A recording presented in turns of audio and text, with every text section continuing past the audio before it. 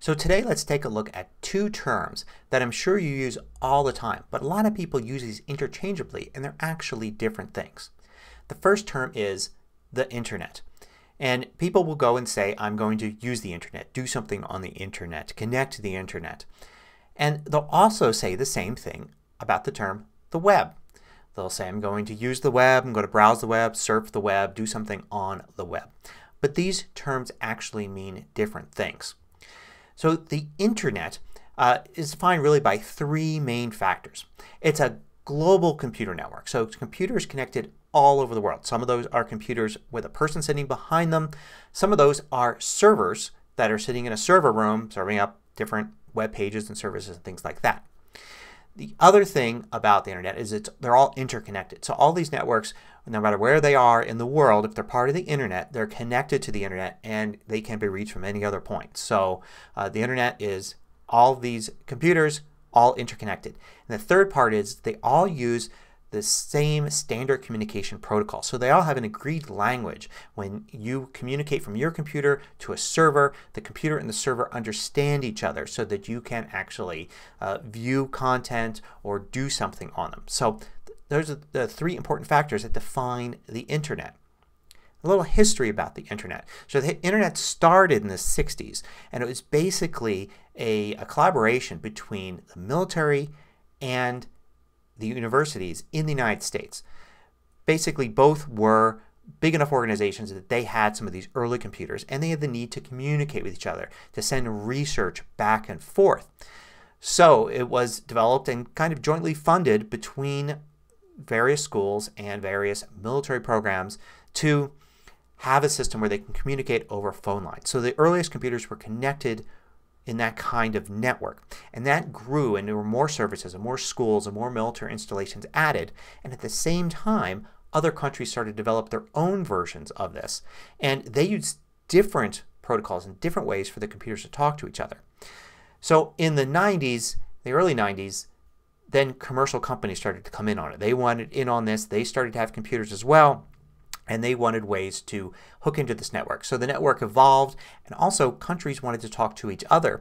So not only were different countries connected to each other but they had to come up with new ways to talk to each other because they were using different protocols. So in the United States the computers were talking using one language and in Switzerland they were using another. So they had to basically come up with a standard so that all the com computers could talk to each other. And once all that was set up and all these computers all over the world could talk to each other and understand each other. Then we had the Internet. And it really was due to international cooperation having all of these different organizations all over the world agree on how computers should be able to communicate with each other. Now Internet protocols are a whole bunch of different things and this is where people get it wrong when they use Internet and the web interchangeably because the World Wide Web is just one protocol used on the Internet. An example of another protocol is email. Email is a completely separate thing from the web.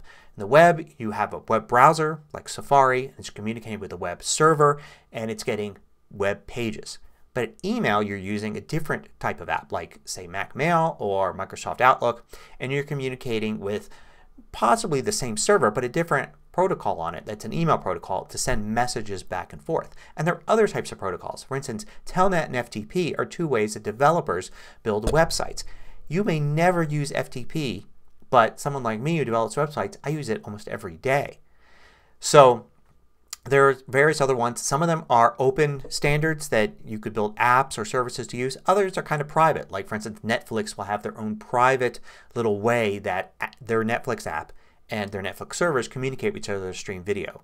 Apple Music has it. Uh, Spotify Music has it. You know, all these different ways to use the Internet. And they all use kind of standards. They're not reinventing the wheel but you wouldn't access Netflix videos with a non-Netflix app and you wouldn't access Apple Music with something that wasn't iTunes. So uh, these are kind of semi-private ways to use the Internet. Data can be transferred all sorts of different ways but those are definitely different ways to use the Internet than the web. So when you say I'm going to use the Internet, it really could mean anything. It could be I'm going to send an email. It could be I'm going to watch a video on my TV. It could be I'm going to play a game on your iPhone against other players. These are all ways you use the Internet. But when you say using the web that means you're using a web browser like Safari to browse web pages and just do things inside the browser like that.